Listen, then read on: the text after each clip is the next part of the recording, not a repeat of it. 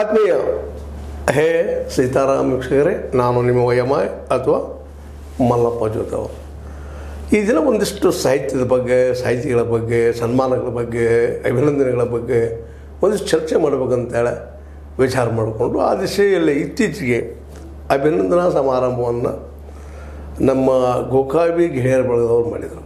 ನಮ್ಮ ಪ್ರೀತಿಯ ಚೌರಿ ಶತ್ ನಮ್ಮ ಏನಪ್ಪ ಅಂದರೆ ಲಕ್ಷ್ಮಣ್ ಚೌರಿ, ಡಾಕ್ಟರ್ ಲಕ್ಷ್ಮಣ್ ಎಸ್ ಚೌರಿ ಅವರ ಕುರಿತಾಗಿ ಅಭಿನಂದನಾ ಗ್ರಂಥ ತರುವ ಜೊತೆಗೆ ಅವರ ಒಂದು ಸಾಹಿತ್ಯದ ಅಥವಾ ಅವರ ಶಿಕ್ಷಣದ ಅಥವಾ ಅದಕ್ಕಿಂತ ಹೆಚ್ಚಿಗೆ ಮಾನವೀಯ ಗುಣಗಳ ನೆಲೆಗಟ್ಟಿನೆಲ್ಲ ಈ ನಮ್ಮ ಗೆಳೆಯರ ಬಳಗ ಅವರನ್ನು ಸನ್ಮಾನ ಮಾಡಿತು. ಅವರ ಕಲಿಕೆಯ ಕಲಿಸುವ ಶಾಲೆ ಮೂಡಲಿಲ್ಲ ಮೂಡಲಿಲ್ಲಾಗಿರ್ಬೋದು, ಇತ್ತೀಚೆಗೆ ಗೋಕಾಗದ ನಮ್ಮ ಏನಪ್ಪ ಅಂತಂದ್ರೆ ನಗರಸಭೆ ಸಮುದಾಯ ಭವನದಲ್ಲಿ ಆಗಿರ್ಬೋದು, ಅವರನ್ನು ಎಲ್ಲರೂ ಹಾಡಿ ಹೊಗಳಿದ್ದೇ ಹೊಗಳಿದ್ದು. ಪ್ರೀತಿಯಿಂದ, ಆತ್ಮೀಯತೆಯಿಂದ ಆ ದಿಶೆಯಲ್ಲೇ ಆ ಒಂದು ಕಾರ್ಯಕ್ರಮ ಒಂದು ರೂಪಕ್ಕೆ ಬರೋದಕ್ಕೆ ಮೂಲ ಕಾರಣಕರ್ತರು ಈಗ ನಿಮ್ಮೊಂದಿಗೆ ನಮ್ಮೊಂದಿಗೆ ಕುಳಿತಂತಹ ಜಯ, ಜಯಣ್ಣ ಮಾದರ ಅಂತೇಳೆ ಡಾಕ್ಟರ್. ವಿಶೇಷವಾಗಿ ಇವರು ಒಂದು ಕಾಲೇಜ್ ನಡೆಸುವಂಥವ್ರು, ಕಲಾ ಮಾಧ್ಯಮದಲ್ಲಿ, ಕಲೆಯಲ್ಲೇ, ಸಾಹಿತ್ಯದಲ್ಲೇ ತಮ್ಮನ್ನು ತೊಡಗಿಸ್ಕೊಂಡಂಥವರು. ಜೊತೆಗೆ ಎಲ್ಲಕ್ಕಿಂತ ಹೆಚ್ಚಾಗಿ ಒಂದು ಬಿದ್ದಂಥ ಸಮುದಾಯದ ಬಗ್ಗೆ ಕಾಳಜಿ ಇದ್ದಂಥ ವ್ಯಕ್ತಿ ನಾನು ನೋಡಿದಂಗೆ. ಮತ್ತು ಒಂದು ಬಿದ್ದ ಸಮಾಜ ಮೇಲೆ ಎದ್ದು ಬರೋದ್ರ ಸುಲಭದ ಕೆಲಸ ಅಲ್ಲ. ಆ ದಿಶೆಯಲ್ಲಿ ಅವರು ತಮ್ಮ ಸಮುದಾಯಕ್ಕೆ, ತಮಗೆ ಜೊತೆಗೆ ಇನ್ನುಳಿದ ಮಿತ್ರರಿಗೆ ಒಂದು ಏನಪ್ಪ ಅಂದ್ರೆ ಆಧಾರ ಹಾಕೊಂಡು ಬಂದಂಥವ್ರು. ಅವ್ರು ಇವತ್ತು ನಮ್ಮ ಚೌರೀಶರ ಬಗ್ಗೆ ಮಕ್ಕಳ ಸಾಹಿತ್ಯ ಚೌರೀಶರ ಬಗ್ಗೆ ಮತ್ತು ಜೊತೆಗೆ ಅವರು ಕೊಟ್ಟಂಥ ಸಾಹಿತ್ಯದ ದೇಣಿಗೆ ಇದೆಲ್ಲದರ ಬಗ್ಗೆ ಒಂದಿಷ್ಟು ನಮ್ಮ ಚರ್ಚೆಗೆ ಬಂದಿದ್ದಾರೆ ಇವತ್ತು. ಯಾಕಂದ್ರೆ ಎಲ್ಲೋ ಮುಗಿದಂಥ ಸಾಹಿತ್ಯ ಬಗ್ಗೆ, ಕವಿ ಬಗ್ಗೆ, ಕಲಾಕಾರರ ಬಗ್ಗೆ ವಿಮರ್ಶೆ ಮಾಡೋಕ್ಕಿಂತವ್ರು ಈಗ ಜೀವಂತಿದ್ದಂತಹ ನಮಗೆ ಅವ್ರು ಇನ್ನೂ ಏನು ಕೊಡ್ಲಿಕ್ಕೆ ಸಾಧ್ಯ ಈಗೇನು ಕೊಟ್ಟಿದ್ದಾರ ಈ ನೆಲೆಗಟ್ಟಿನಲ್ಲೇ ಅವ್ರು ಇನ್ನೂ ಈ ಸಮುದಾಯಕ್ಕೆ ಏನು ಕೊಡೋಕ್ಕೆ ಸಾಧ್ಯದ ಮುಂದಿನ ಜನ್ರೇಷನ್ಗೆ ಏನು ಕೊಡೋಕ್ಕೆ ಸಾಧ್ಯದ ಎಲ್ಲ ನೆಲೆಗಟ್ಟಿನಲ್ಲಿ ನಾವೊಂದು ಈ ಕಾರ್ಯಕ್ರಮವನ್ನು ಇವತ್ತು ನಿರೂಪಿಸಲಿಕ್ಕೆ ಹೊರಟಿದ್ದೀವಿ. ಆ ನೆಲೆಯಲ್ಲೇ ಒಂದು ಮೊದಲನೇ ಪ್ರಶ್ನೆಯನ್ನು ನಮ್ಮ ಮಿತ್ರರಾದಂಥ ಜಯಣ್ಣ ಅವರಿಗೆ, ಪ್ರಾಚಾರ್ಯ ಜಯಣ್ಣ ಅವರಿಗೆ ಕೇಳುವಂಥದ್ದು ಏನಪ್ಪ ಅಂದ್ರೆ, ನೀವು ಇವರನ್ನ ಯಾಕೆ ಗೌರವಿಸಬೇಕು, ಅಭಿನಂದಿಸಬೇಕು ಅನ್ನುವಂಥ ವಿಚಾರ ಮಾಡಿದ್ರಿ? ನಮ್ಮ ಗೋಕಾವಿ ಗೆಳೆಯರ ಬಳಗದೊಳಗೆ ಅವರು ಹಿರಿಯ ಸದಸ್ಯರು. ಮತ್ತು ಬೆಳಗಾವಿ ಜಿಲ್ಲೆ ರಾಯಬಾಗ್ ತಾಲೂಕಿನ ಕುರ್ಚಿಯಲ್ಲಿ ಅಜಿತ್ ಬಾಣೆ ಹೊಸ ಪ್ರೌಢಶಾಲೆ ಮುಖ್ಯೋಪಾಧ್ಯಾಯರಾಗಿ, ಆ ಪರಿಸರದೊಳಗೆ ಬಹಳಷ್ಟು ಗಮನವನ್ನು ಸೆಳೆಯುವಂಥ, ಅಂದರೆ ಸಾಂಸ್ಕೃತಿಕವಾಗಿ, ಸಾಮಾಜಿಕವಾಗಿ, ಶೈಕ್ಷಣಿಕವಾಗಿ, ಸಾಹಿತ್ಯಿಕವಾಗಿರ್ತಕ್ಕಂಥ ಸುಂದರವಾದ ಒಂದು ವಾತಾವರಣ ಸೃಷ್ಟಿ ಮಾಡಿರೋದನ್ನು ನಾನು ಕಣ್ಣಾರೆ ಕಂಡಿರೋದ್ರಿಂದ, ಜೊತೆಗೆ ನಮ್ಮ ಗೆಳೆಯರ ಬಳಗದ ಸಾಹಿತ್ಯಿಕ ಕಾರ್ಯಕ್ರಮಗಳಲ್ಲಿ, ಸಾಂಸ್ಕೃತಿಕ ಕಾರ್ಯಕ್ರಮಗಳಲ್ಲಿ ಮುಂಚೂಣಿಯಲ್ಲಿ ನಿಂತ್ಕೊಂಡು ಬಹಳ ಮುತುವರ್ಜಿಯನ್ನು ವಹಿಸಿಕೊಂಡು ಕಾರ್ಯಕ್ರಮಗಳನ್ನ ಸಂಯೋಜನೆ ಮಾಡೋದನ್ನು ಹಿಡ್ಕೊಂಡು, ಅತಿಥಿಗಳನ್ನ ಈ ಗೋಕಾವಿನಾಡಿಗೆ ಕರೆಸೋದ್ರಿಂದ ಹಿಡ್ಕೊಂಡು ಬಹಳ ವ್ಯವಸ್ಥಿತವಾಗಿ ನಮ್ಮೊಂದಿಗೆ ಸಹಕಾರವನ್ನು ಕೋರ್ತಾ ಇದ್ರು. ಅದರ ಒಟ್ಟಿಗೆ ಇತ್ತೀಚೆಗೆ ಅವರು ಮಕ್ಕಳಿಗಾಗಿ ಒಂದು ಒತ್ತಕ್ಷರವಿಲ್ಲದ ಕಥಾ ಸಂಕಲನವನ್ನು ಪ್ರಕಟ ಮಾಡಿದರು. ಅದು ವಿಶ್ವ ದಾಖಲೆ ಆಯಿತು. ಹಾಗಾಗಿ ಒಂದು ಅಚೀವರ್ಸ್ ಯೂನಿವರ್ಸಿಟಿ ಅವರು ತಮಿಳುನಾಡಿನ ಮಧುರೈನಲ್ಲಿ ಈ ಡಾಕ್ಟರ್ ಲಕ್ಷ್ಮಣ್ ಚೌರಿ ಅವರಿಗೆ ಗೌರವ ಡಾಕ್ಟರೇಟನ್ನು ಕೊಟ್ಟು ಗೌರವ ಮಾಡಿತು ಹಾಗಾಗಿ ಆ ಒಂದು ಗೌರವ ಡಾಕ್ಟರೇಟ್ ಪದವಿಗೆ ಅವರು ಭಾಜನರಾಗಿರೋದ್ರಿಂದ ಮತ್ತು ನಿವೃತ್ತಿ ಶಿಕ್ಷಣ ಕ್ಷೇತ್ರದಲ್ಲಿ ಸೇವೆ ಮಾಡಿ, ಸುದೀರ್ಘವಾಗಿ ಮೂವತ್ತೇಳು ವರ್ಷ ಸೇವೆ ಮಾಡಿ ನಿವೃತ್ತಿಯನ್ನು ಹೊಂದುವಂಥ ಈ ಸಂದರ್ಭದೊಳಗೆ ಇವರನ್ನು ಅಭಿನಂದಿಸೋದು ಇದು ಸೂಕ್ತವಾಗಿರ್ತಕ್ಕಂಥ ಸಮಯ ಅನ್ನೋದನ್ನು ಗುರುತಿಸಿಕೊಂಡು ನಮ್ಮ ಗೆಳೆಯರ ಒಳಗೆ ಈ ಒಂದು ಅಭಿನಂದನಾ ಸಮಾರಂಭವನ್ನು ಹಮ್ಮಿಕೊಳ್ಬೇಕಾಯಿತು ನೀವು ಈ ಒಂದು ಒಳ್ಳೆ ಕೆಲಸ, ಯಾಕಪ್ಪ ಅಂದ್ರೆ ಒಂದು ಗುಣವನ್ನು ಗುರುತಿಸಿ ಅದಕ್ಕೆ ಮಾನ್ಯತೆ ನೀಡೋದು ಮತ್ತು ಅವರನ್ನು ಅವ್ರಿಗೂ ಒಂದು ಆತ್ಮತೃಪ್ತಿ ಮನಸ್ತೃಪ್ತಿ ಅಥವಾ ಒಂದು ಏನೋ ತೃಪ್ತಿ ಬದುಕಿನ ತೃಪ್ತಿ ಅವರು ಸಿಕ್ಕಂಗೆ ಆಗ್ತದೆ. ಯಾಕಪ್ಪ ಅಂದರೆ ಜೀವನದಲ್ಲೇ ಅನೇಕ ಕಷ್ಟಗಳು ವಿಶೇಷವಾಗಿ ಸಾಹಿತಿಗಳು ಭಾರತದಲ್ಲೇ ಇವರು ಶ್ರೀಮಂತರಲ್ಲ. ಹೌದು. ಯಾಕಪ್ಪ ಅಂತಂದ್ರೆ ಅವ್ರ ಅಕ್ಷರ ಶ್ರೀಮಂತರು. ಅವ್ರ ಬದುಕು ಶ್ರೀಮಂತರು. ಬದುಕೋದು ಕಷ್ಟ. ಅಂತ ಪರಿಸ್ಥಿತಿ ಮೇಲೆ ಬಂದಿರ್ತಾರೆ. ಇವರೊಂದು ಏನೋ ಒಂದು ಅನುಕೂಲ ಆಯಿತು. ಒಂದು ಟೀಚರ್ಕಿ ಮಾಡ್ತಾರೆ ಈ ಒಂದು ಏನಪ್ಪ ಅಂತ ಸಾಹಿತ್ಯ ರಚನೆ ಮಾಡ್ತಾ ಬಂದರು ಇಂಥವ್ರನ್ನ ಗುರುತಿಸಿದಾಗ ಇದು ಕೆಲವೊಂದು ಹಿಂಗಿರ್ತದಲ್ರಿ. ಒಂದು ಗೌರವ ಅನ್ನೋದಾಗಲಿ ಕೀರ್ತಿ ಅನ್ನೋದಾಗಲಿ ಅಥವಾ ಇನ್ನುಳದಾಗಲಿ ಇವೆಲ್ಲನೂ ದುಡ್ಡಿಂದ ಕೊಳ್ಕೊಳ್ಳುವಂಥವಲ್ಲ ಅವರು ತಮ್ಮ ಸ್ವ ಸಾಧನೆಯಿಂದ ಮಾಡಿದಂಥದ್ದು. ಆ ಸ್ವ ಸಾ ಸಾಧನೆಯನ್ನು ನೀವು ಪರಿಚಯಿಸಿದ್ರಿ.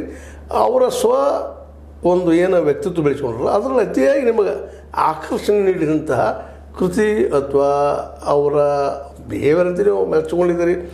ಶಿಕ್ಷಕರದಾರ ಅವರ ಶಿಕ್ಷಕರು ಮಾಧುರ್ಯನೂ ಅವರಲ್ಲದ. ಮಧುರತೆನೂ ತಿನ್ನೋದ ಹೀಗಾಗಿ ಅದು ಅವ್ರ ಗುಣನೂ ಅದ ಯಾಕಪ್ಪ ಅಂದ್ರೆ ಅವರು ವೈಯಕ್ತಿಕ ಜೀವನದಲ್ಲಿ ಸಹಿತ ಸಾಕಷ್ಟು ತೊಂದರೆ ಅನುಭವಿಸಿದ್ರು ಸಹಿತ ಅದನ್ನು ನಗ್ತಾ ನಗ್ತಾ ಸ್ವೀಕಾರ ಮಾಡ್ಕೊಂಡು ಬಂದಂಥವ್ರು ಇದ್ದಾರೆ. ಅಂತೇಳಿ ನಾನು ಸ್ವಲ್ಪ ಸಮಯ ನೋಡಿದ್ರಿ ಆ ದಿಶೆಯಲ್ಲಿ ಅವ್ರ ಕೃತಿಗಳ, ನೀವು ಈಗಾಗಲೇ ಹೇಳಿದ್ರಿ, ಒಂದು ವಿಶ್ವ ದಾಖಲೆ ಆಯಿತಪ್ಪ ಒತ್ತಕ್ಷರ ಅಂತೇಳಿ ಆ ಕೃತಿಗಳಲ್ಲೇ, ಆ ಕೃತಿಗಳಿಂದ ಹೆಚ್ಚಿಗೆ ಯಾರು ಪ್ರಭಾವಿತರಾಗಿದ್ದಾರೆ? ಮಕ್ಕಳು ಮತ್ತು ಅದ್ರ ಮಕ್ಕಳಿಗೆ ಹೆಚ್ಚಿಗೆ ಸಮಾಜವೂ ಪ್ರಭಾವಿತ ಆಗಿತ್ತು ಅಂತ.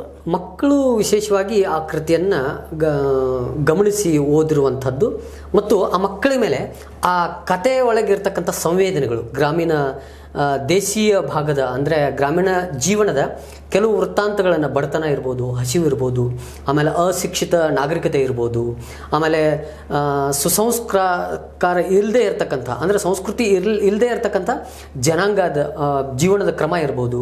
ಅದನ್ನೆಲ್ಲ ಒಟ್ಟುಗೂಡಿಸಿ ಆ ಕಥೆಗಳ ಮೂಲಕ ಸಮಾಜಕ್ಕೆ ಕೊಡುವಂಥ ಒಂದು ಪ್ರಯತ್ನವನ್ನು ಡಾಕ್ಟರ್ ಚೌರಿ ಅವರು ಮಾಡಿರೋದನ್ನು ನಾನು ಗಮನಿಸಿದ್ದೀನಿ ಸರ್. ಅದರ ಜೊತೆಗೆ ಅಳಿಲು ಅನ್ನುವಂಥ ಒಂದು ಮಕ್ಕಳ ಕವಿತೆ ಆಮೇಲೆ ಮಗು ನೀ ನಗು ಅನ್ನುವಂಥ ಒಂದು ಮಕ್ಕಳ ಕವಿತೆ.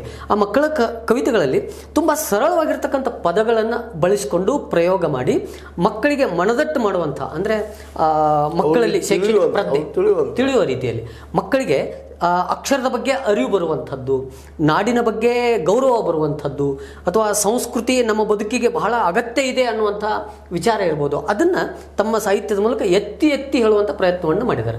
ಹೀಗಾಗಿ ಅವರು ಕಲಿಸಿದಂಥ ಮಕ್ಕಳಿರ್ಬೋದು, ಆ ಪುಸ್ತಕಗಳನ್ನು ಓದುವಂಥ ಮಕ್ಕಳಿರ್ಬೋದು. ನಾನು ಬ, ಈ ಗೋಕಾಕದ ಪಕ್ಕದಲ್ಲಿ ಒಂದು ಶುಗರ್ ಫ್ಯಾಕ್ಟ್ರಿ ಏರಿಯಾ ಅಲ್ಲಿ ನವರಾತ್ರಿ ಉತ್ಸವ ಮಾಡ್ತೀವಿ. ಆ ನವರಾತ್ರಿ ಉತ್ಸವದಲ್ಲಿ ಇವ್ರನ್ನ ನಾವು ಮಕ್ಕಳ ಸ್ಪರ್ಧೆ ಇಟ್ಟಾಗ, ಬಹುಮಾನ ವಿತರಣೆಗೆ ಇವ್ರು ಕರಿತಿದ್ವಿ. ಇವರು, ಇವ್ರು ಬರೆದಂಥ ಕವಿತೆಗಳನ್ನು ಹೇಳ್ತಿದ್ರು. ಇವ್ರು ಬರೆದಂಥ ಕಥೆಗಳನ್ನು ಮಕ್ಕಳಿಗೆ ಹೇಳ್ತಿದ್ರು. ಕೇಳಿದಂಥ ಮಕ್ಕಳು ಇವತ್ತಿಗೂ ಕೂಡ ಡಾಕ್ಟರ್ ಲಕ್ಷ್ಮಣ್ ಚೌರಿ ಅವ್ರನ್ನ ನೆನಪಿಸ್ತಾರೆ. ಆ ಮಕ್ಕಳಿಗೆ ಇವರೇನು ಶಿಕ್ಷಣ ಕೊಟ್ಟಿಲ್ಲ ಆದರೆ ಕೇವಲ ಅತಿಥಿಯಾಗಿ ಬಂದು ಭಾಷಣ ಮಾಡಿದಕ್ಕಾಗಿ ಇವರೊಬ್ಬ ಮಕ್ಕಳ ಸಾಹಿತಿಯಾಗಿ ಅಂಥ ಮಕ್ಕಳ ಗಮನವನ್ನು ಸೆಳೆಯುವಂಥ ಒಂದು ಪ್ರಯತ್ನವನ್ನು ಇವರು ಮಾಡಿದ್ದಾರೆ ಅನ್ನೋ ಒಂದು ಈಗ ನೀವು ಮೊನ್ನೆ ನಡೆದಂಥ ಒಂದು ಈ ಸನ್ಮಾನಗಳ ಸಂದರ್ಭದಲ್ಲಿ ಒಂದು ದೊಡ್ಡ ಗ್ರಂಥವನ್ನು ಅವರಿಗೆ ಅಭಿನಂದನ ಅಭಿನಂದನ ಗ್ರಂಥ. ಅಂತ ಅಂದರೆ ಆ ಅಭಿನಂದನಾ ಗ್ರಂಥದಲ್ಲ ಇವ್ರ ಕುರಿತಾಗಿ ಯಾವ್ಯಾವ ವಿಷಯಗಳ ಮೇಲೆ ಫೋಕಸ್ ಮಾಡಿದ್ರಿ ಅಥವಾ ಟೆಸ್ಟ್ ಮಾಡಿ ಅವ್ರನ್ನ ಪರಿಚಯ ಮಾಡೋಕೆ ಪ್ರಯತ್ನ ಮೊದಲು ಇವರಿಗೆ ಅಭಿನಂದನಾ ಸಮಾರಂಭ ಹಮ್ಮಿಕೊಳ್ಬೇಕು ಅನ್ನುವಂಥ ಉದ್ದೇಶಕ್ಕೆ ನಾವು ಬಂದಾಗ ನಮ್ಮ ಗೆಳೆಯರ ಬಳಗದ ಎಲ್ಲ ಸದಸ್ಯರನ್ನು ನಾವು ಒಂದು ಸಭೆಯನ್ನು ಕರೆದಿದ್ವಿ ಅದು ಮಾಂತೇಶ್ ತಾಂಶಿ ಅವರು ಇರ್ಬೋದು ಅಶೋಕ್ ಲಗ್ಮಪ್ಪಗಳು ಇರ್ಬೋದು ಬಿ ವಿ ಹಿರೇಮಠ ಅವರು ಇರ್ಬೋದು ಡಾಕ್ಟರ್ ಸಿ ಕೆ ನವಲ್ಗಿ ಅವರು ಇರ್ಬೋದು ಆಮೇಲೆ ಡಾಕ್ಟರ್ ಸುರೇಶ್ ಹನಗಂಡಿ ಅವರು, ಪ್ರೊಫೆಸರ್ ಮುದ್ದಾರ್ ಅವರು, ಆಮೇಲೆ ಉದ್ದಣ್ಣ ಗೋಡೆರ್ ಅವರು, ಡಾಕ್ಟರ್ ಅರುಣ್ ಸೌತಿಕಾಯ್ ಅವರು, ಎಲ್ಲ ಗೆಳೆಯರು ಒಟ್ಟಿಗೆ ನಾನು ಇದ್ರ ಬಗ್ಗೆ ಸಮಾಲೋಚನೆ ಮಾಡಿಕೊಂಡಾಗ ಎಲ್ಲ ಗೆಳೆಯರು ಒಂದು ಸಲಹೆ ಕೊಟ್ಟರು ಇದು ವ್ಯಕ್ತಿಗತವಾದ ಗ್ರಂಥ ಆಗಬಾರ್ದು. ಆ ಪ್ರದೇಶ, ಈ ವ್ಯಕ್ತಿಗತ ಬರಹಗಳ ಒಟ್ಟೊಟ್ಟಿಗೆ ಆ ಪ್ರದೇಶವನ್ನು ಪರಿಚಯ ಮಾಡುವಂಥ ಒಂದು ಗ್ರಂಥ ಆಗಬೇಕು.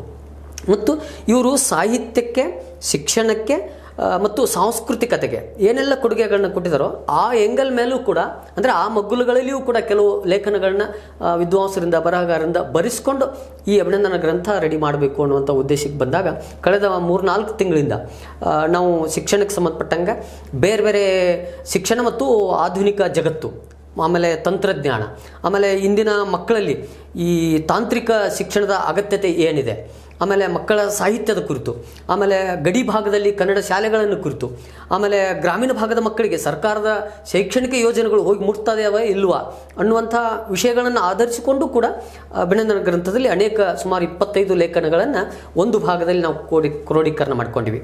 ಆಮೇಲೆ ಎರಡನೇ ಭಾಗದೊಳಗೆ ಈ ಬಾಗೇನಾಡು, ಅದು ರಾಯ್ಬಾಗ್ ತಾಲೂಕಿನ ಸುತ್ತಮುತ್ತಲಿನ ಪರಿಸರ, ಕುಡ್ಚಿ, ರಾಯಬಾಗ್ ಆ, ದ್ವಾಡಿ ಹಾರುಗೇರಿ ಹಿಡ್ಕಲ್ ಕೆಮಲಾಪುರ್ ಇತ್ಯಾದಿ ಪ್ರಮುಖ ಹಳ್ಳಿಗಳಲ್ಲಿಯ ಪ್ರಾದೇಶಿಕತೆಯನ್ನು ಪ್ರತಿನಿಧಿಸುವಂಥ ಕೆಲವು ಜಾನಪದ ಕವಿಗಳಿದ್ದಾರೆ. ಆಮೇಲೆ ಜಾನಪದ ಸಾಹಿತಿಗಳಿದ್ದಾರೆ ಜನಪದ ಹಾಡುಗಾರಿದ್ದಾರೆ ಅಂಥವ್ರ ಬಗ್ಗೆ ಮಾಹಿತಿಗಳನ್ನ ಸಂಗ್ರಹ ಮಾಡಿ ಈ ಒಂದು ಅಭಿನಂದನಾ ಗ್ರಂಥದಲ್ಲಿ ನಾವು ಮತ್ತೊಂದು ಭಾಗದಲ್ಲಿ ಅದನ್ನು ಕ್ರೋಢೀಕರಣ ಮಾಡುವಂಥ ಒಂದು ಪ್ರಯತ್ನ ಮಾಡಿದ್ವಿ. ಅದಾದಮೇಲೆ ಚೌರಿಯವರ ಪರಿಚಯ ಏನು ಪರಿವಾರ ಅದು ಅವ್ರದ್ದು ಮೂಲತಃ ಜಮಖಂಡಿ ತಾಲೂಕಿನ ಅಡಿವಡಿ ಗ್ರಾಮದವರು. ಆ ಚೌರಿ ಕುಟುಂಬ ಅನ್ನುವಂಥದ್ದನ್ನೇ ಇಡೀ ರಾಜ್ಯವೇ ಗಮನ ಸೆಳೆಯುವಂಥ ಒಂದು ಸಾಧನೆಗಳನ್ನು ಚೌರಿ ಪರಿವಾರದಲ್ಲಿ ಕೆಲವು ಜನ ಮಾಡಿದ್ದಾರೆ. ಅಂಥವ್ರ ಆರ್ಟಿಕಲ್ಗಳನ್ನು ಕೂಡ ಇದರೊಳಗೆ ನಾವು ಕೂಡಿಸಿದ್ದೀವಿ. ಅದರೊಟ್ಟಿಗೆ ಚೌರಿಯವರ ಒಡನಾಡಿಗಳ ಕಡೆಯಿಂದ ಸುಮಾರು ಒಂದು ಮೂವತ್ತು ನಲವತ್ತು ಜನ ಒಡನಾಡಿಗರು ಆ ಅಭಿನಂದನ ಗ್ರಂಥದಲ್ಲಿ ಅಭಿನಂದನ ಪರ ನುಡಿಗಳನ್ನು ಆಡಿದ್ದಾರೆ ಹೀಗಾಗಿ ಈ ಅಭಿನಂದನ ಗ್ರಂಥ ಮಕ್ಕಳ ಚೌರೀಶ ಅನ್ನುವಂಥ ಶೀರ್ಷಿಕೆ ಮೇಲೆ ಹೊರಗೆ ಬರೋ ನಿಟ್ಟಿನಲ್ಲಿ ಇದು ವ್ಯಕ್ತಿಗತವಾಗಿ ಬಂದಿಲ್ಲ. ಅದು ಪೂರಕವಾಗಿ ಸಮಗ್ರ ಸಾಹಿತ್ಯವನ್ನು, ಸಮಗ್ರ ಶಿಕ್ಷಣವನ್ನು, ಸಮಗ್ರ ಕ್ಷೇತ್ರವನ್ನು ಕಟ್ಟಿಕೊಡುವಂಥ ಒಂದು ಪ್ರಯತ್ನವನ್ನು ಆ ಅಭಿನಂದನ ಗ್ರಂಥದ ಮೂಲಕ ನಾನು ಒಬ್ಬ ಸಂಪಾದಕನಾಗಿ ಮಾಡುವಂಥ ಒಂದು ಪ್ರಯತ್ನವನ್ನು ಮಾಡಿದೆ. ಇದು ಒಂದು ರೀತಿಯಿಂದ ನೀವು ಹೇಳಿದ್ದನ್ನು ನೋಡಿದಿರ ಈ ಕುರಿತು ಹೌದಪ್ಪ ನೋಡಬೇಕು, ಓದಬೇಕು, ಇದರಲ್ಲಿ ಏನೋ ಅದ ಈ ಭಾಗದ ಒಂದು ಜೀವಂತಿಕೆಯನ್ನು ಹಿಡಿದಿಟ್ಟದಪ್ಪ ಅನ್ನುವಂಥ ಮಾತು ನೀವು ಹೇಳ್ತಾ ಇದ್ದೀರಿ.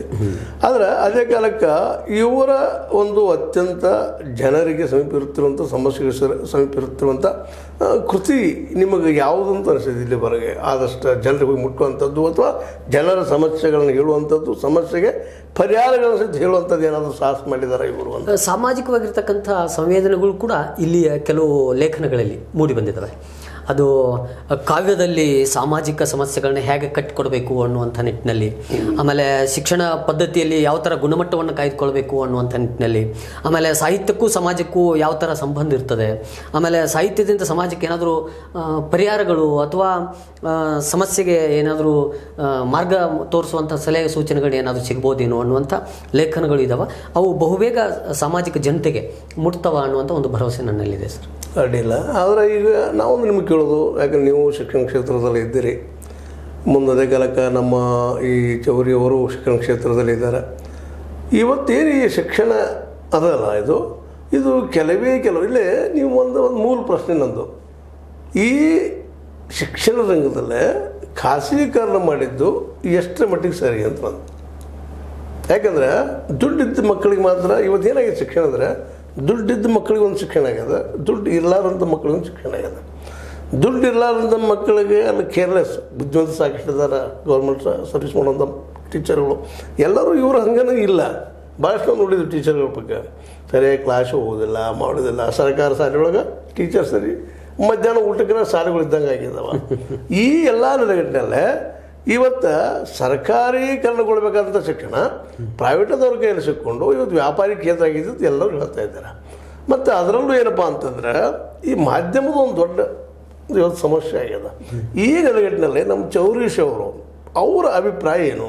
ಕನ್ನಡ ಸಾರಿಗಳ ಜೊತೆಗೆ ಇವತ್ತು ದೆಹಲಿಯಲ್ಲಿ ಒಂದು ದೊಡ್ಡ ಕ್ರಾಂತಿ ಆಗಿದೆ ಶಿಕ್ಷಣದಲ್ಲಿ. ಅಲ್ಲಿ ಎಲ್ಲ ಮಕ್ಕಳು ಸಹಿತ ಅಪ್ ಟು ಪಿ ಯು ಸಿವರೆಗೆ ಫ್ರೀ ಎಜುಕೇಷನ್ ಕೊಡ್ತಾ ಇದ್ದಾರೆ. ಆ ದಿಸೆಯಲ್ಲಿ ನಮ್ಮ ಸರ್ಕಾರಗಳು ಪ್ರಯತ್ನ ಮಾಡೋ ದಿಶೆಯಲ್ಲಿ ಏನಾದರೂ ಚೌರೀಶ್ ಅವರು ತಮ್ಮದೇ ಆದ ವಿಚಾರಗಳನ್ನು ಹೇಳೋದಾಗಲಿ ಅಥವಾ ನೀವಾಗಲಿ ಚೌರಿ ಏನು ಮಾಡ್ತಾ ಇದ್ದೀರಿ ಅಂತ ಡಾಕ್ಟರ್ ಲಕ್ಷ್ಮಣ್ ಚೌರಿ ಅವರು ತೊಂಬತ್ತರ ದಶಕದೊಳಗೆ ಆ ಒಂದು ಕುರ್ಚಿ ಪ್ರದೇಶದೊಳಗೆ ಮೊಟ್ಟ ಮೊದಲ ಕನ್ನಡ ಶಾಲೆಯನ್ನು ಆರಂಭ ಮಾಡಿದರು. ಅಲ್ಲಿ ಉರ್ದುಮಯವಾಗಿರ್ತಕ್ಕಂಥ ವಾತಾವರಣ. ಅಲ್ಲಿ ಕನ್ನಡ ಶಾಲೆಯನ್ನು ಸ್ವತಃ ಒಂದು ಸಂಸ್ಥೆಯನ್ನು ಹುಟ್ಟುಹಾಕಿ ಇವರು ಆ ಪ್ರದೇಶದ ಮಕ್ಕಳಿಗೆ ಕನ್ನಡ ಬೋಧನೆ ಅದು ಕನ್ನಡ ಮಾಧ್ಯಮದಲ್ಲಿಯೇ ಶಿಕ್ಷಣ ಈ ಮಕ್ಕಳಿಗೆಲ್ಲ ಸಿಗಲಿ ಅನ್ನುವಂಥ ಉದ್ದೇಶದಿಂದ ಕನ್ನಡ ಶಾಲೆ ಆರಂಭ ಮಾಡಿ ಒಂದು ಸರ್ಕಾರ ಮಾಡದೇ ಇರತಕ್ಕಂಥ ಕೆಲಸವನ್ನು ಡಾಕ್ಟರ್ ಚೌರಿ ಅವರು ತಮ್ಮ ಶಿಕ್ಷಣ ಸಂಸ್ಥೆಯ ಮೂಲಕ ಸುಮಾರು ಮೂರು ಮೂರು ಸಾವಿರಕ್ಕೂ ಹೆಚ್ಚು ಜನ ವಿದ್ಯಾರ್ಥಿಗಳಿಗೆ ಬದುಕನ್ನು ರೂಪಿಸಿಕೊಡುವಂಥ ಒಂದು ಪ್ರಯತ್ನವನ್ನು ಮಾಡಿದ್ದಾರೆ.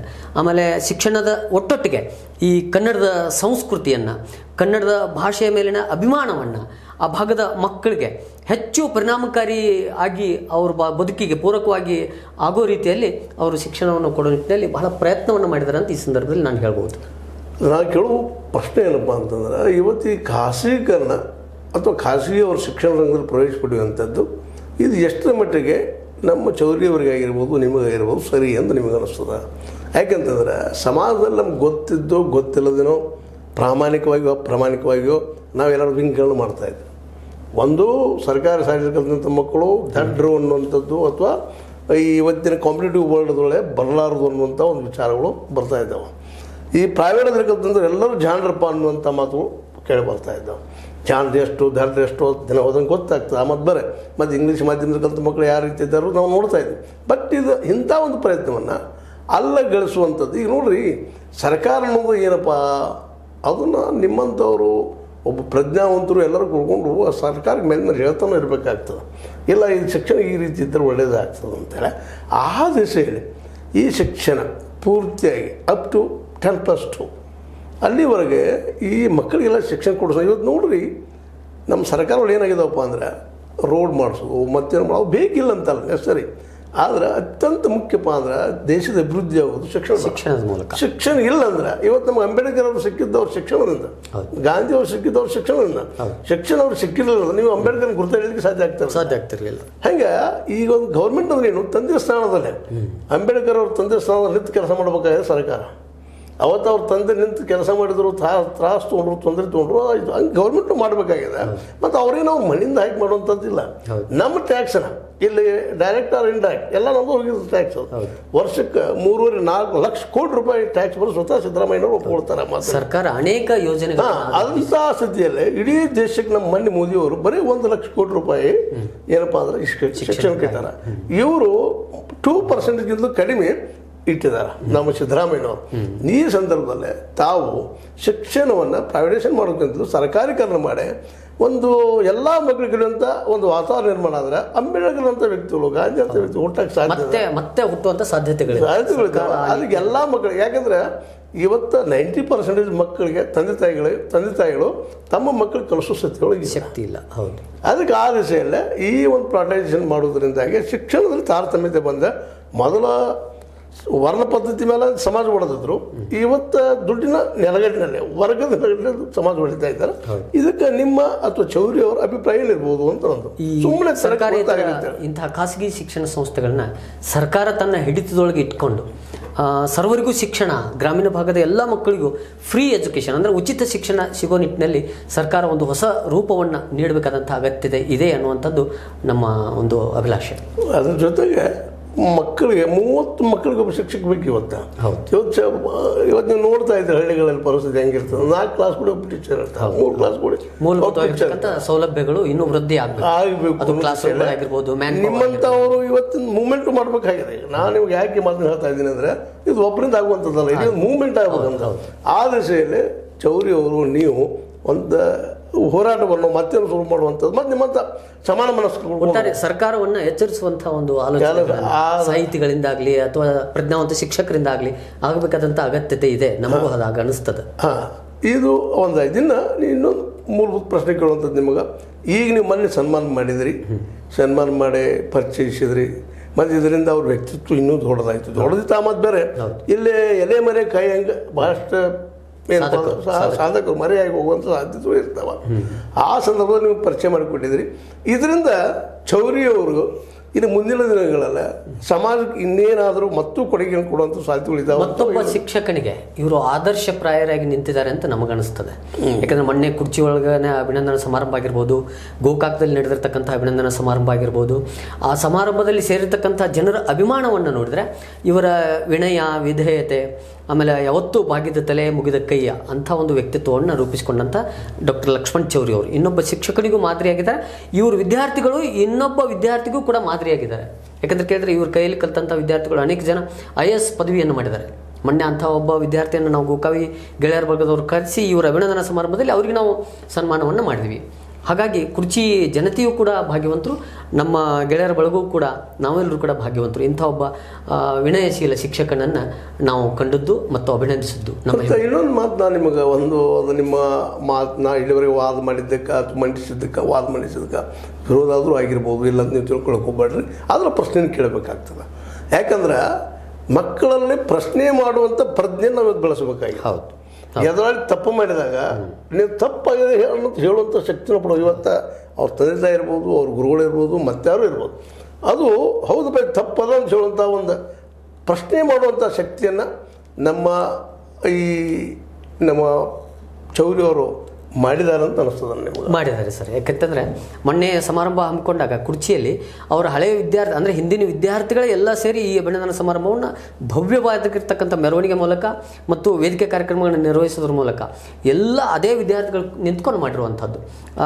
ದೊಡ್ಡವರು ಏನಾದರೂ ಸ್ವಲ್ಪ ಸಣ್ಣ ಪುಟ್ಟ ತಪ್ಪು ಮಾಡಿದ್ರು ಕೂಡ ಅದನ್ನು ಪ್ರತಿರೋಧಿಸಿ ಆ ಕಾರ್ಯಕ್ರಮ ಹೀಗೆ ಮಾಡಬೇಕು, ಇಷ್ಟು ಜನರನ್ನೇ ಸೇರಿಸಬೇಕು, ಇಂಥ ವೇದಿಕೆಯನ್ನೇ ನಿರ್ಮಾಣ ಮಾಡಬೇಕು ಅನ್ನೋಂಥ ದಿಟ್ಟ ನಿರ್ಧಾರದಿಂದ ಆ ವಿದ್ಯಾರ್ಥಿಗಳು ಆ ಸಮಾರಂಭ ಹಮ್ಮಿಕೊಂಡಿದ್ದನ್ನು ನಾನು ಕಣ್ಣಾರೆ ಕಂಡಿದ್ದೀನಿ ಸರ್. ಯಾಕಂದರೆ ಇವತ್ತಿನ ಮಕ್ಕಳಿಗೆ ಅಂಥ ಒಂದು ಎದುಗಾರಿಕೆ ಅವಶ್ಯಕತೆ ಇದೆ. ಮಕ್ಕಳು ಅಂಕಗಳನ್ನು ಗಳಿಸೋದ್ರೊಟ್ಟಿಗೆ ಬೌದ್ಧಿಕವಾಗಿರ್ತಕ್ಕಂಥ ವಿಕಾಸವನ್ನು ಅಥವಾ ಮನೋಸ್ಥೈರ್ಯವನ್ನು ನಮ್ಮ ಇವತ್ತಿನ ಮಕ್ಕಳಿಗೆ ಧೈರ್ಯ ಕಡಿಮೆ ಇದೆ. ತಪ್ಪನ್ನು ಎದುರಿಸುವಂಥದ್ದು ಅಥವಾ ಅನ್ಯಾಯವನ್ನು ಪ್ರತಿರೋಧಿಸುವಂಥದ್ದು ಅಥವಾ ರಸ್ತೆ ಮೇಲೆ ಯಾರೋ ಹೊಡೆದಾಡ್ತಿದ್ರು ಅಂತಂದ್ರೆ ಅವ್ರನ್ನ ಬಿಡಿಸೋದಕ್ಕೆ ಹೋಗುವಂಥ ಮನಸ್ಥಿತಿ ಕೂಡ ಇವತ್ತು ಮಕ್ಕಳಲ್ಲಿ ಇಲ್ಲ. ಅಂಥ ಒಂದು ಮನೋಸ್ಥೈರ್ಯವನ್ನು ನಾವು ತುಂಬುವಂಥ ಕೆಲಸವನ್ನು ಶಿಕ್ಷಕರಾದಂಥವ್ರು ಮಾಡಬೇಕಾದಂಥ ಅಗತ್ಯತೆ ಇದೆ. ಒಟ್ಟಾರೆಯಾಗಿ ಕೊನೆ ಹಂತಕ್ಕೆ ನಾವು ಬರ್ತಾ ಇದ್ದೀವಿ. ನಿಮಗೊಂದು ಸಣ್ಣ ಪ್ರಶ್ನೆ. ನಿಮ್ಮ ಮಿತ್ರರಾದಂತಹ ಚೌರಿಯವರಾಗಲಿ ಅಥವಾ ನೀವಾಗಲಿ ಇಲ್ಲಿವರೆಗೆ ನೀವು ಬದುಕು ಸಾಧಿಸಿದ್ದು, ಸಾಧಿಸಿ, ಬಂದಿದ್ದು ನಿಮಗೆ ತೃಪ್ತಿ ಕೊಟ್ಟಿದೆಯಾ? ಸಾಮಾಜಿಕವಾಗಿ ನಮಗೆ ಒಂದು ತೃಪ್ತಿ ಇದೆ ಸರ್. ಆರ್ಥಿಕವಾಗಿ ನಾವು ದೌರ್ಬಲ್ಯರೇ. ಆದರೆ ನಮ್ಮ ಮನಸ್ಸಿಗೆ ಒಂದು ಬಲ ಕೊಟ್ಟದ್ದು, ಬುದ್ಧಿಗೆ ಒಂದು ಬಲ ಕೊಟ್ಟದ್ದು ಸಾಹಿತ್ಯ ಮತ್ತು ಶಿಕ್ಷಣ. ಹೀಗಾಗಿ ಅವೆರಡರಿಂದ ನಮ್ಮ ಬದುಕು ತೃಪ್ತಿದಾಯಕವಾಗಿದೆ. ಎಲ್ಲೋ ಒಂದು ಕಡೆಗೆ ಮತ್ತು ಅದು ಆರ್ಥಿಕತೆ ನಮ್ಮನ್ನು ಕಾಡೋದು, ಬಡತನ ಕಾಡೋದು, ಅದು ಸ್ವಾಭಾವಿಕವಾಗಿ ಸಾಮಾಜಿಕ ವ್ಯವಸ್ಥೆಯಲ್ಲಿ ಇರುವಂಥದ್ದನ್ನೇ. ನಾವು ಅದನ್ನು ಕೂಡ ಅನುಭವಿಸಿ ಅಥವಾ ಅದನ್ನು ಎದುರಿಸಿನೇ ನಾವು ಬದುಕಬೇಕಾದಂಥ ಸ್ಥಿತಿಯಲ್ಲಿ ಇವತ್ತು ಇದ್ದೀವಿ ಸರ್. ಆರ್ಥಿಕ ನೆಲೆಗಟ್ಟಿನಲ್ಲಿ ಏನಾದರೂ ಸಾಹಸಗಳನ್ನ ಮಾಡುವಂಥದ್ದು ಅಂದ್ರೆ ನಮ್ಮಲ್ಲಿ ಒಂದು ಕೋಆಪರೇಟಿವ್ ಮೂಮೆಂಟ್ ಅಂತ ಅಂತೀವಿ ನಾವು. ಕೋಆಪರೇಟಿವ್ ಮೂಮೆಂಟ್ ಅಂದರೆ ಸಮಾನ ಮನಸ್ಸು ಕೂಡ್ಕೊಂಡು ಒಂದು ಕೋಆಪರೇಟಿವ್ ಒಂದು ಬ್ಯಾಂಕ್ ಅಲ್ರಿ ಮತ್ತೆ ಮಾಡಿಕೊಂಡು ಒಂದು ಸಮಾಜಕ್ಕೆ ಒಂದು ಆರ್ಥಿಕ ಬಲ ನೀಡುವಂಥದ್ದು. ಒಬ್ಬರ ದುಡ್ಡು ನೋಡ್ರಿ ಬಂಡವಾಳ ಇದ್ದಂಥವ ದುಡ್ಡು ಹಾಕೊಂಡು ಮಾಡ್ಕೊಂಡ್ಬಿಡ್ತಾನೆ ಆದ್ರೆ ಇವತ್ತು ನೀವು ಎಲ್ಲರೂ ಒಬ್ಬರು ಕುಡ್ಕೊಂಡು ಇದು ಕೊನೆಯ ಪ್ರಶ್ನೆ ಅಂತ ತಿಳ್ಕೊಂಡ್ಬಿಟ್ರಿ ನೀವೆಲ್ಲ ಕುಡ್ಕೊಂಡು ಒಂದು ಪಬ್ಲಿಕೇಶನ್ನು ಏನೋ ಮಾಡಿಕೊಂಡು ನಿಮ್ಮ ಒಂದಿಷ್ಟು ಅಲ್ಪ ದುಡ್ಡು ಇನ್ವೆಸ್ಟ್ ಮಾಡಿ ಯಾರಿಗೋ ನಿಮ್ಮ ಬುಕ್ಕನ್ನು ನಿಮ್ಮ ಜ್ಞಾನವನ್ನು ಮಾರ್ಕೊಳ್ಳೋಕ್ಕಿಂತಲೂ ನೀವೆಲ್ಲ ಸಮಾನ ಗೆಳೆಯರ ಬಳಗದವರಿದ್ದೀರಿ.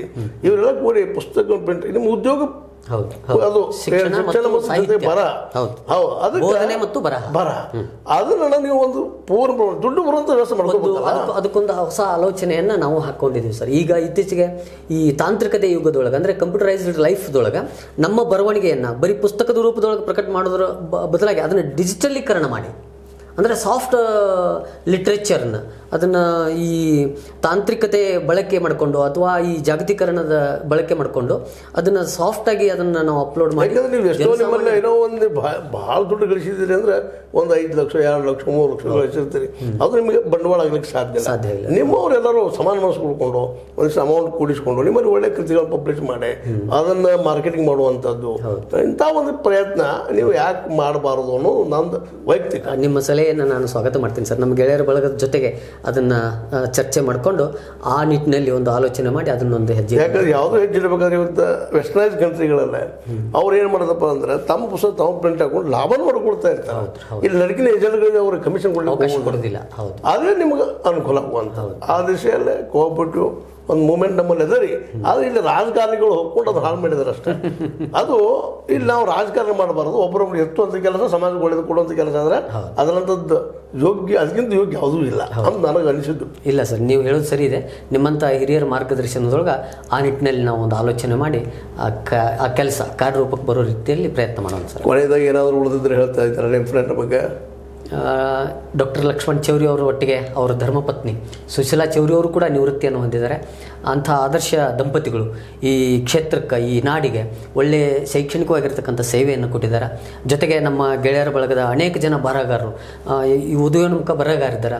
ಅವರೆಲ್ಲ ಬರವಣಿಗೆಗಳನ್ನ ತಗೊಂಡು ನಮ್ಮ ಗೋಕಾವಿ ಗೆಳೆಯರ ಬಳಗದಿಂದ ಪ್ರಕಟಣೆ ಮಾಡಿ ಪುಸ್ತಕ ರೂಪದಿಂದ ಅವ್ರನ್ನ ಹೊರಗೆ ತಂದು ಅವ್ರನ್ನೂ ಕೂಡ ಸಾಹಿತಿಯನ್ನಾಗಿ ಸಮಾಜಕ್ಕೆ ಪರಿಚಯ ಮಾಡಬೇಕು ಅನ್ನುವಂಥ ಆಲೋಚನೆ ನಮ್ಮ ಗೆಳೆಯರ ಬಳಗಕ್ಕಿದೆ. ತಾವು ಬಂದರೆ ತಮ್ಮ ಅಭಿಪ್ರಾಯಗಳನ್ನು ಹೇಳಿದ್ರಿ ನಿಮ್ಮ ಮಿತ್ರನ ಬಗ್ಗೆ ಪರಿಚಯ ಮಾಡಿಸಿದ್ರಿ ಜೊತೆಗೆ ಸಮಾಜದಲ್ಲಿ ಒಬ್ಬ ಒಳ್ಳೆ ವ್ಯಕ್ತಿ ಅದನ್ನು ತೋರಿಸಿದ್ರಿ. ಇನ್ನು ಸಮಾಜ ಅವ್ರನ್ನ ಯಾವ ರೀತಿ ಬೆಳೆಸಬೇಕು ಅನ್ನೋ ಸಮಾಜ ಬಿಟ್ಟ ವಿಷಯ. ಸಾಹಿತ್ಯ ಸಮಾಜದ ಕೂಸು. ಕೂಸು. ಸಮಾಜ ಅದನ್ನು ಹೇಗೆ ಎತ್ಕೊಳ್ತದೆ ಜಪನ್ ಮಾಡ್ತದೆ? ಅವ್ರಿಗೆ ಬಿಟ್ಟಂಥ ವಿಷಯ. ಆದರೂ ಆದ್ರೆ ನಿಮಗೆ ಮನದಾಳದ ಮಾತುಗಳನ್ನು ಮೋದಿ ಅವ್ರದ್ದು ಏನು ಹೇಳಿಲ್ಲ ನಿಮ್ಮ ಮಾತುಗಳನ್ನು ಹೇಳಿದ್ರಿ. ಯಾಕಂದ್ರೆ ಮನ್ ಕಿ ಬಾತ್ ಎಂದೂ ಯಶಸ್ವಿ ಆಗಲಿಲ್ಲ ಇಲ್ಲಿವರೆಗೆ. ನಿಮ್ದು ಯಶಸ್ವಿ ಆಗಲಿ ಅಂತ ಒಪ್ಪಿಸ್ತಾ ಬಯಸ್ತಾ ಇದ್ವಿ.